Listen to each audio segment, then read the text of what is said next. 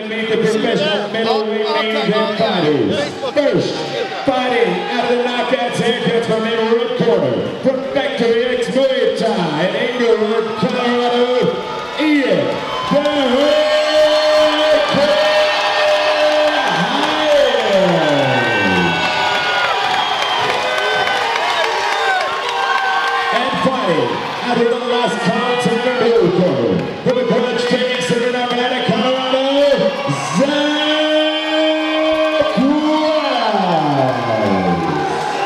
His professional middleweight bout is scheduled for three five-minute rounds. Referee is Tom Jackson.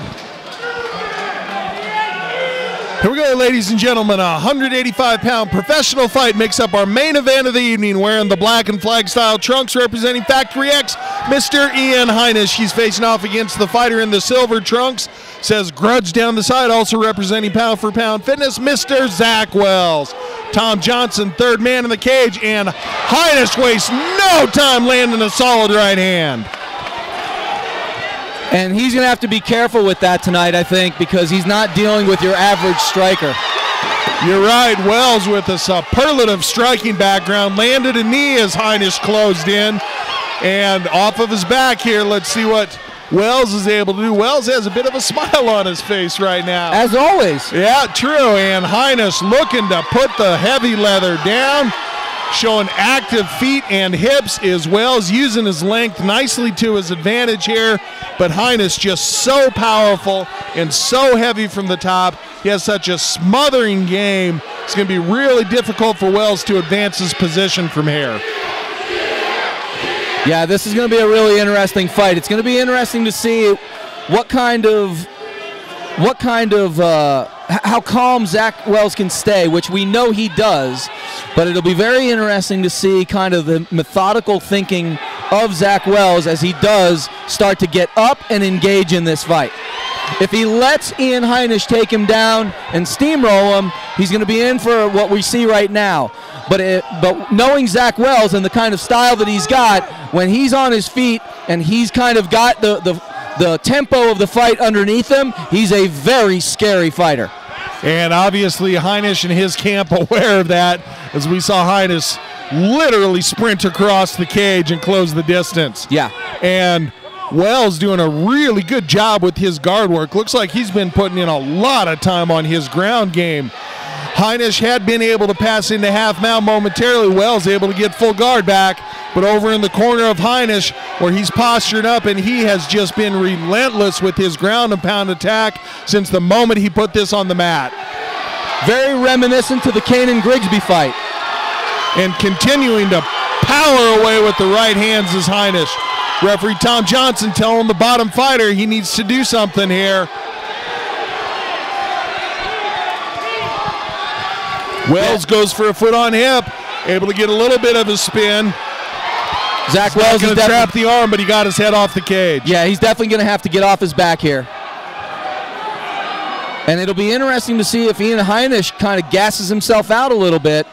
He's a very muscular, heavily muscled kid, and we're going to see if he's going to be able to carry that muscle. Zack Wells, obviously, very calm, cool, and composed, regardless of what's going on in there. One of my favorite fighters to watch. Wells doing a good job with the overhook, trying to make sure that Heinisch doesn't have too much free to fire away with. Heinisch doing good work trying to pass the guard, keeps looking to skip over at least one leg. But Wells, again, looks like he's been putting in the ground time in the gym. Without a Because he's not letting Heinisch get to full mount. Heinisch in half mount now, trying to pull that left knee through. Now he has an opportunity, and there it is. Full mount for the Factory X fighter. And you know he's going to try to put some power down here. Really nice job of Zack Wells shrimping out of it, but he's eating shots. There's no question. Heinisch just all grit and determination, looking to put his stamp on this fight here early. See if he sets up the head and arm choke here. Starting to get good position. We're already seeing Wells starting to redden up a little bit. And Wells looking for the turn, but Heinisch going to be able to maintain top position here. Turns it into back control, but he's just a little bit high. He and is. the corner of Wells is just screaming at him he's But- high. But good job by Heinisch of adjusting settles his hips down a little bit, and we're going to take it to the second round because I just heard the 10 second clacker. And there it is. Very dominant first round from Ian Heinisch.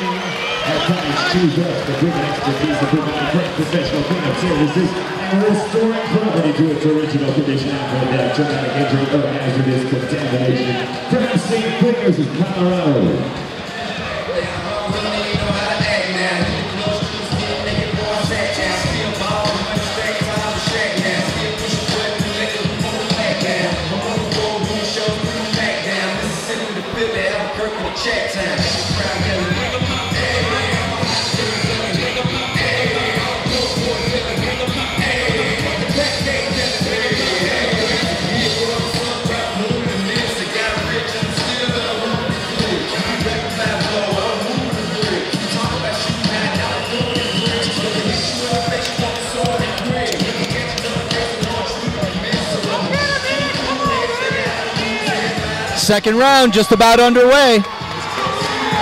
Both corners exiting the cage. Dominant first round for Ian Heinisch.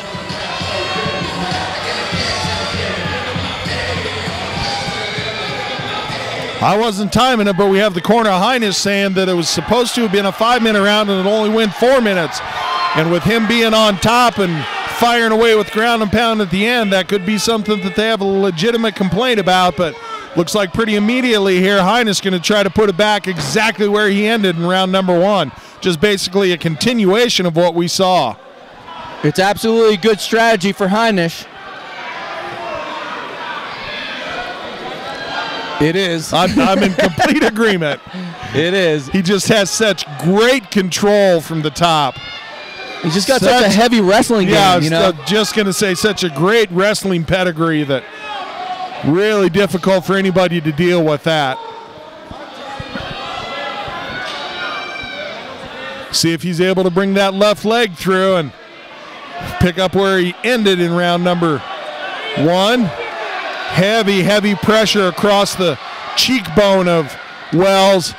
Heinisch probably going to try to use that to set up as a pass. If he wanted, he could lighten up a little bit and pop down with some elbows here, but elects not to, and a couple of peppering punches. Almost in half guard right now is Heinisch, and he's looking to lay down the lumber, and he's really getting those hips over the top of uh, Zack Wells, and Z- and he's looking for that side choke, but Zack Wells doing a nice job of keeping him in his guard. Full guard now for Wells, and with Wells having such a significantly longer body, this works out well for him because he can keep Heinisch away a little bit at least, not let him have absolute full effect on his punches. But with somebody that has the musculature of Heinisch, full effect isn't always necessary to get the job done. And Heinisch is landing some big shots right now. And it looks as if he's Oh, got a couple of solid elbows. Yeah, it looks as if he's got Zack Wells in a little bit of trouble right now. Posturing up. Those last few elbows, those are the kind that make your opponents start to wither, starting to lighten up on their defense. And a credit to Ian for staying very, very busy in all positions tonight. Always looking to either improve his position or land damaging Yes. strikes. Haven't seen him look a whole lot for submissions yet, but definitely enough to let the referee say, hey, you're making a fight out of this on the ground. Let's leave it here. Absolutely right.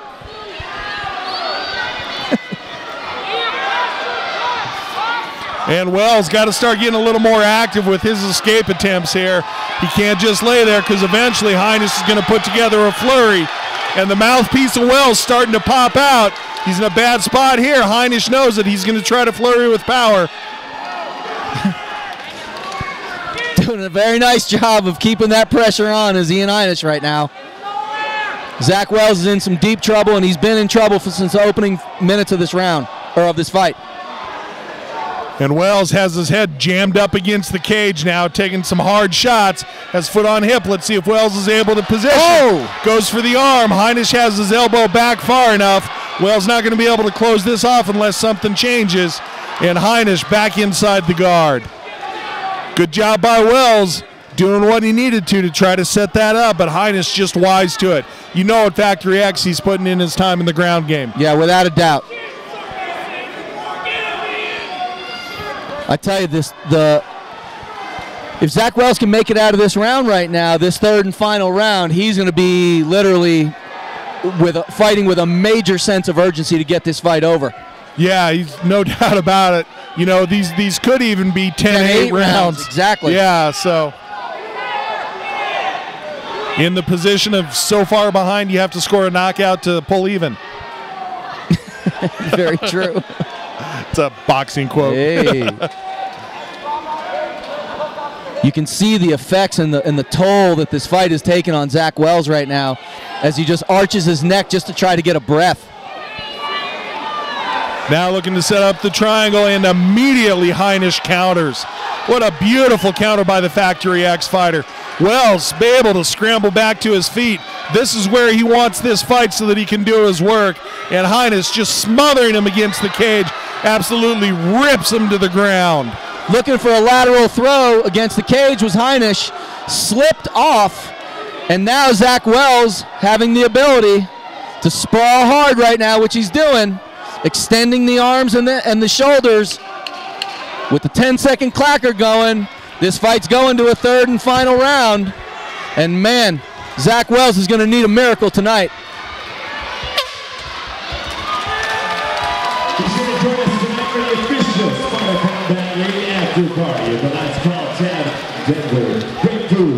Great prices in your home for all UFC fights. Also the sponsor of tonight's Ring Card Girls, Last Call Tavern in Denver.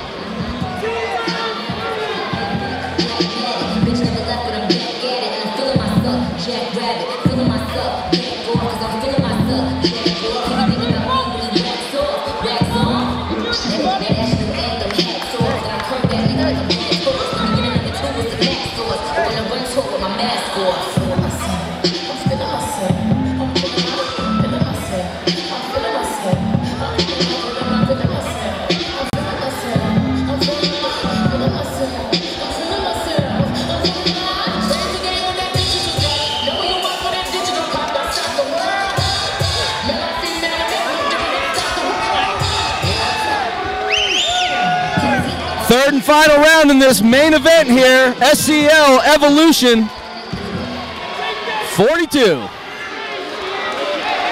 Third and final, here we go. Ian Heinisch comes straight out and bull rushes Zack Wells again and lands a big left hook and puts Wells on his back again.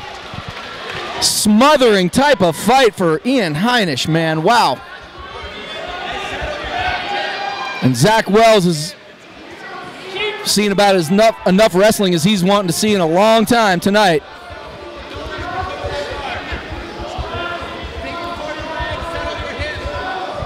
But that just smothering wrestling game of Ian Heinisch has been the key all night.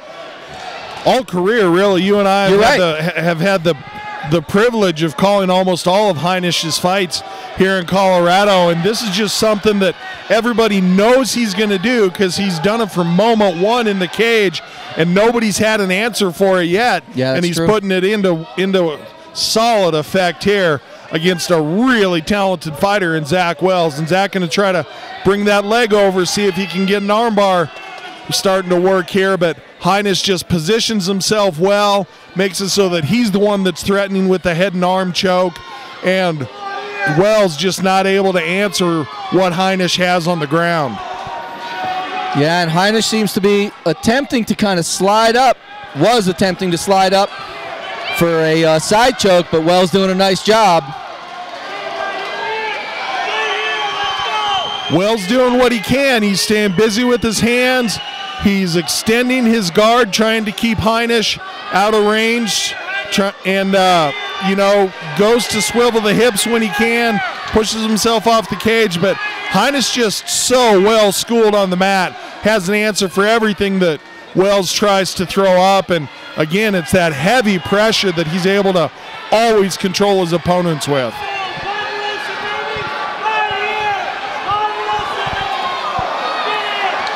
Couple of big shots land there for Heinisch, and he brought a strong contingent of fans here to the Douglas County Event Center with him, and they are giving their approval right now. Hard shots landing right now for Ian Heinisch. Wells able to get a hand up on the bicep, shut down a little bit of the power. Referee was starting to take a look at it. Wells showed he was still defending intelligently. And about 74 different people giving instructions to Heinisch right now. That's right.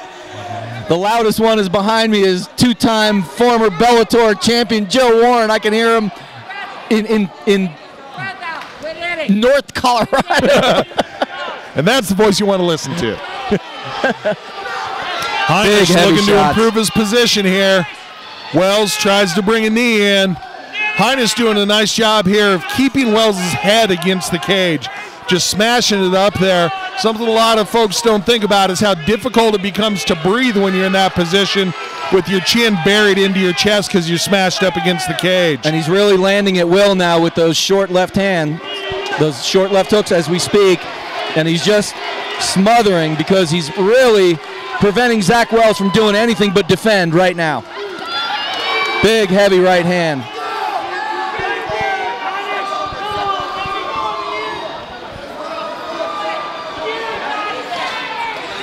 Heinisch posturing up and continuing the assault right now with that left hand. Goes from punches to elbows. One of them skipped off solidly for him. The brow of Wells starting to show the story of this fight a little bit. And now Heinisch again tries to put together a strong flurry. Big punches for Heinisch. Referee's about to step in. And Wells again shows that he can defend himself. That was as close to getting stopped as I've ever seen a fight so far in Colorado, and Ian Heinisch is just keeping the pressure on. No quitting. Zack Wells continues to move enough to show that he's keeping himself safe in there. And Heinisch has tried several times to put together fight ending flurries. I can see now the mouthpiece of Wells has popped out. Wells continues to be active with his hips, pushes himself off the cage. And Zack Tries Wells swinging around, but Heinisch again with that forward pressure, be it standing or on the ground, always moving, always pressuring. and Ian Heinisch has really battered the left eye of uh, Zack Wells, and he's cut Zack Wells, and he's just keeping the fire going right now. Is Ian Heinisch, he has not stopped the whole fight. And we're going to take it to the judges, but this one's an easy call. Congratulations to these guys for putting on a great main event. For Ron Goldstein, I am J.R. Gordon. Thanks for having joined us at Sparta Combat League 42. Evolution. We'll see you cage side at the next one. After three rounds, we go to the judges' scorecard. All three judges scored about 30 to 27, declaring the winner by unanimous decision, Ian Hines.